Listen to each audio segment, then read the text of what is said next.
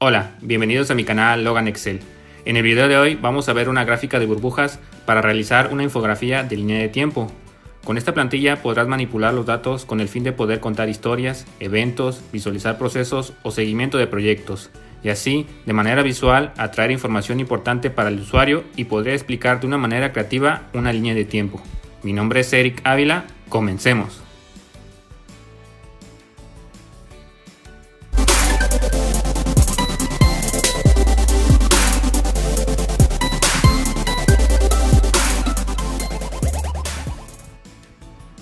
Bueno, empecemos.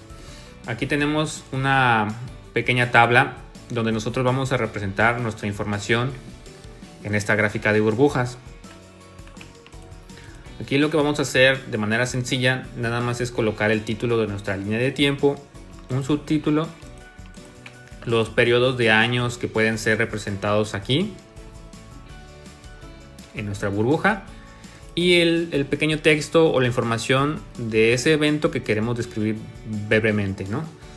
Entonces aquí vamos a colocar estas pequeñas imágenes que representan cada uno de los eventos.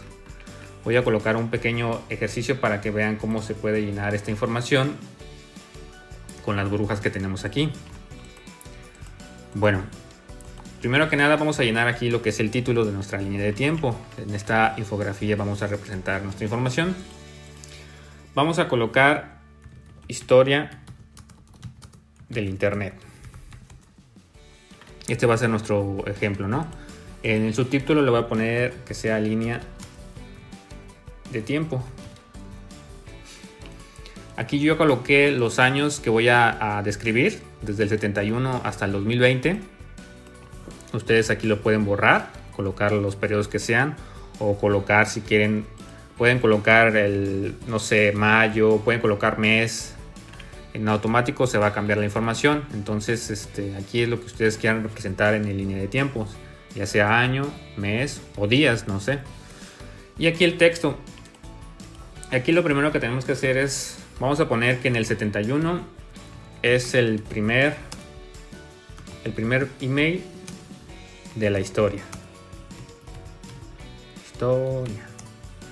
Entonces, como observan, en el 71 aparece el año y el primer email de la historia.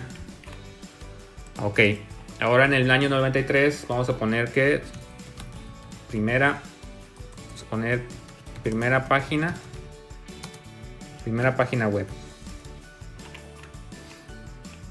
Listo. En el 96 vamos a colocar este primer teléfono móvil y como ven se va llenando los, nuestros campos con el texto. En el 2004 voy a poner primer usuario en Face en Facebook que en este caso pues es Mark Zuckerberg listo en el 2005 vamos a colocar el primer video de primer video de YouTube. Primer video de YouTube. En el 2015 vamos a colocar el WhatsApp. Lanza servicio de, de llamadas.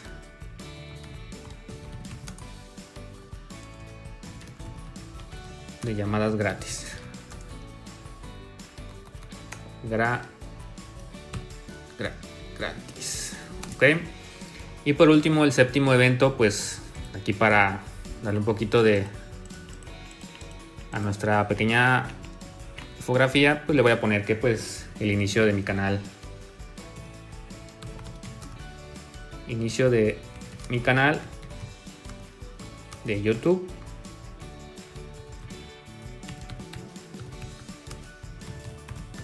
Logan Excel.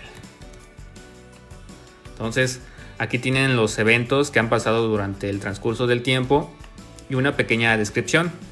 Ahora lo que ustedes deben hacer, en caso de que hagan un ejemplo similar a este, es conseguir las imágenes y estas imágenes colocarlas en sus respectivos círculos. Por ejemplo, aquí primer email de la historia, voy a colocar la imagen del del, correo. Primera página de web. Ya tengo aquí la imagen escogida. Primer teléfono móvil fue un Nokia. Voy a colocar aquí. Primer usuario en Facebook. En este caso pues fue Mark Zuckerberg. Y primer video de YouTube en el 2005 fue. En el 2015 WhatsApp lanza servicio de llamadas gratis. Voy a colocar aquí. Y por último, en el 2020, eh, inicio de mi canal de YouTube de Logan Excel. Entonces, aquí, como pueden observar, tenemos nuestra representación de línea de tiempo con un ejemplo sencillo de la historia del Internet y con, imágenes que nosotros podemos cargar aquí en nuestras gráficas y ya queda de manera fija.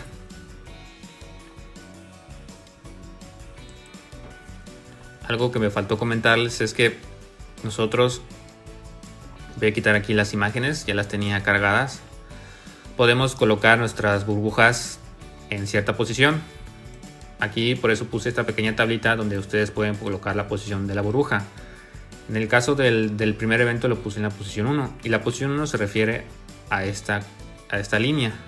La posición 2 se refiere a los que están aquí.